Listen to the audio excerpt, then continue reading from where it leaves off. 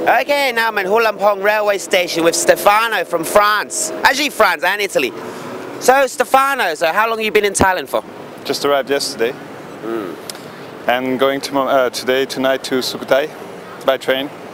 Then Oh, so you're taking the train tonight. You have any problem buying your ticket? Oh yeah, lots of problems. No, I'm joking.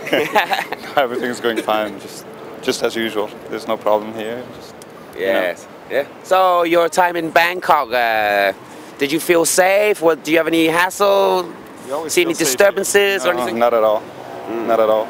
I mean, I've been here. I come here since I'm eight years old. Mm, so it's about really? 15 times I've came here. I never had any problem Oh, really? whatsoever.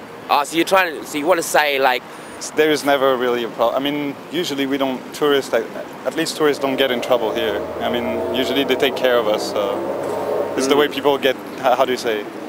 When we come here, we're really well. Um, how do you say? They rec- um, what's the word when you get received? Uh, okay, welcoming. yes. Yeah, okay, hospitality. Yeah, or something. hospitality and Yeah, okay. always fine here. So Yes. I don't know. I, even if I heard about problems of the government here, I, I never thought there would be something wrong with us. So you haven't seen anything or anything like that? Not at all. Ah, okay, people being friendly, especially now, I think, because they were worried that tourists were kind of scared because of what happened. Yeah. But people are really friendly all the time, so. Yeah. All right then, Stefano. Well, well, uh, wish you a good trip tonight and Yeah, good luck in. Sukhothai. Uh, Yeah. All right, Stefano. Good yeah. luck for your video.